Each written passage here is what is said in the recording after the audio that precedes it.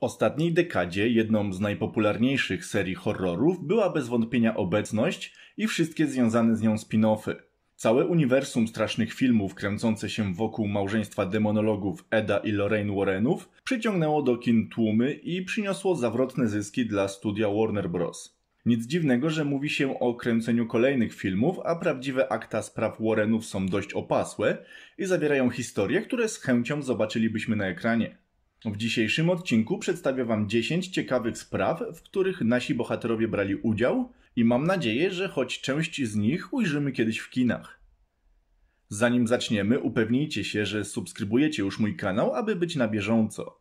Na końcu odcinka poproszę Was również o odpowiedź na pytanie, którą z wymienionych przeze mnie spraw najchętniej byście obejrzeli w formie filmu. Numer 1. Nawiedzenie plebanii w Borley.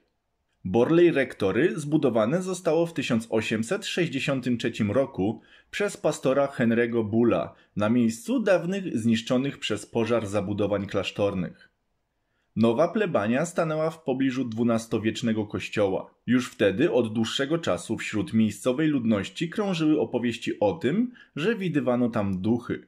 Pierwsze pogłoski na ten temat datuje się na rok 1800, lecz zaczęto dokumentować je dopiero w roku 1928.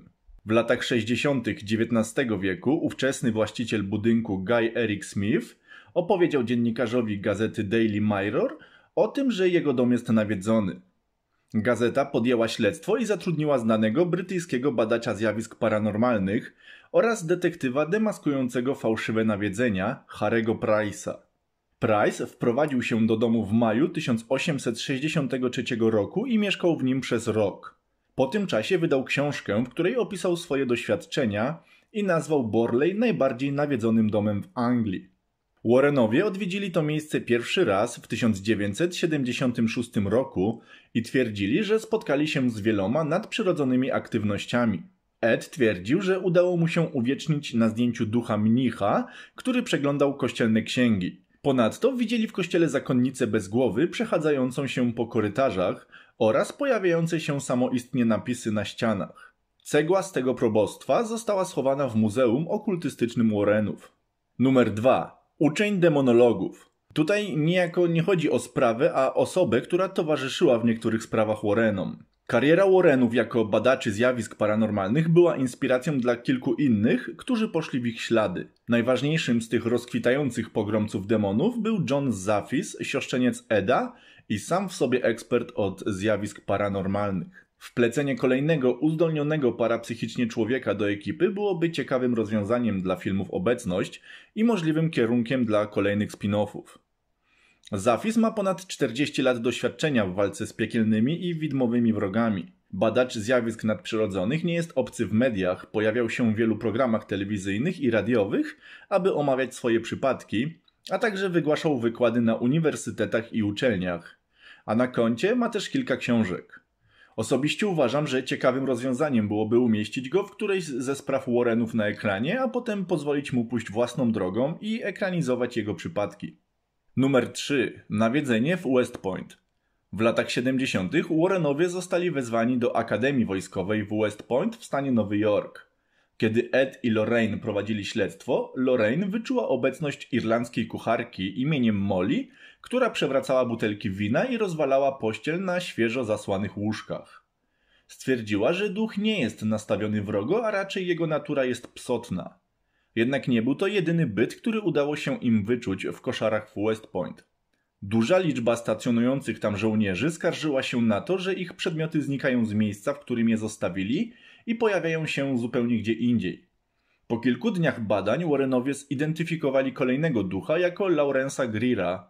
Był to żołnierz stacjonujący w West Point, który dopuścił się morderstwa na innym człowieku.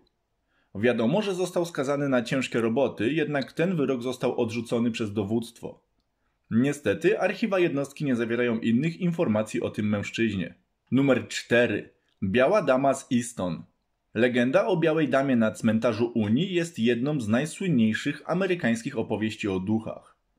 Opowieść o Białej Damie, której świadkami są niezliczone przerażone osoby postronne od czasu jej śmierci w latach 40., nadal wzbudza zainteresowanie opinii publicznej. Cmentarz Unii mieści się w Connecticut, więc Warrenowie mieli tam naprawdę blisko.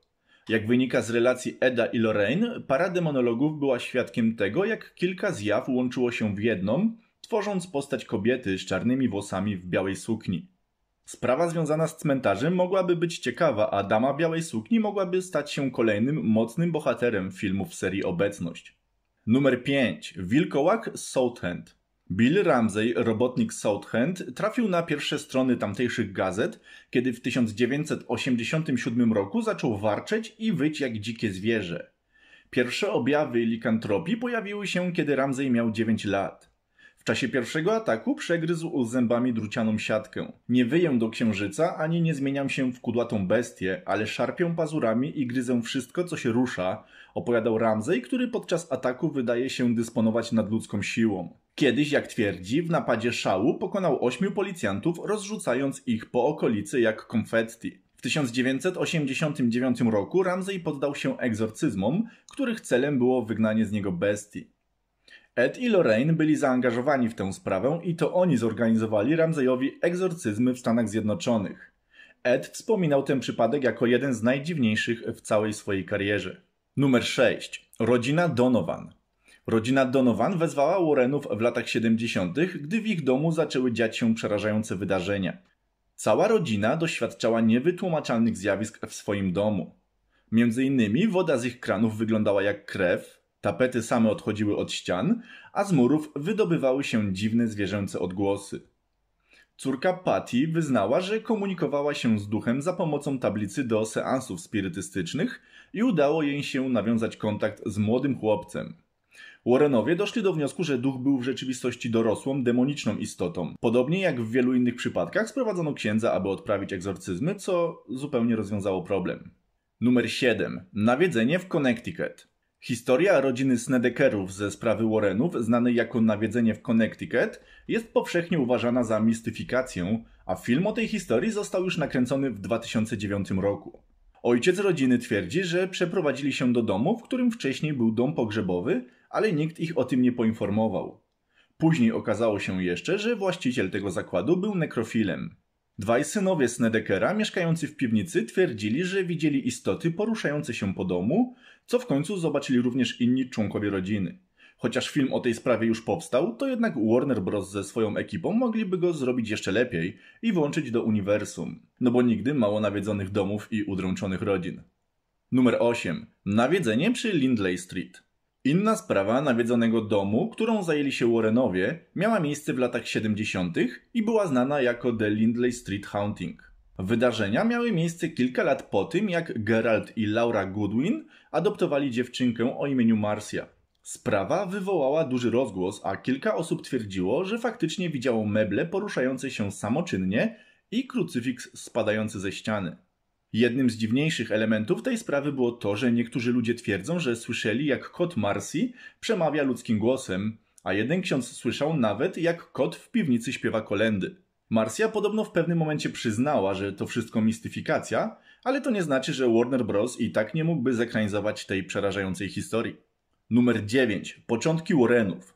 Teraz coś, co nie jest częścią spraw, podobnie jak punkt drugi, w którym przybliżyłem sylwetkę ucznia Warrenów, ale ciekawym pomysłem byłoby przedstawienie początku kariery Warrenów. Przyznam szczerze, że mocno na to liczyłem, gdy zobaczyłem jeszcze na długo przed premierą trzeciej części obsadę filmu. Pojawienie się w nim młodych Eda i Lorraine dawało mi nadzieję na to, że dowiemy się czegoś więcej o ich początkach, a te były naprawdę ciekawe.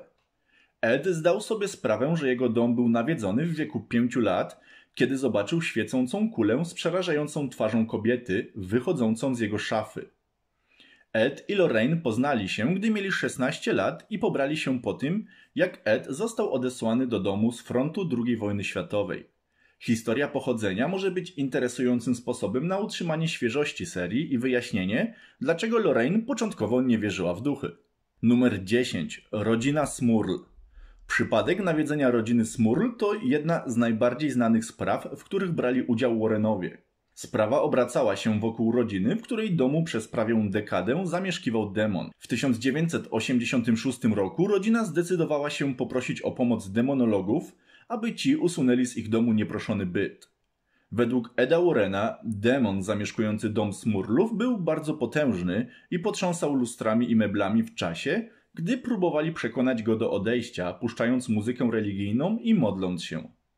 Lorraine twierdziła, że poczuła spadek temperatury i zobaczyła ciemną masę w domu, a demon zostawił kiedyś wiadomość na lustrze mówiącą, żeby się stąd wynosili.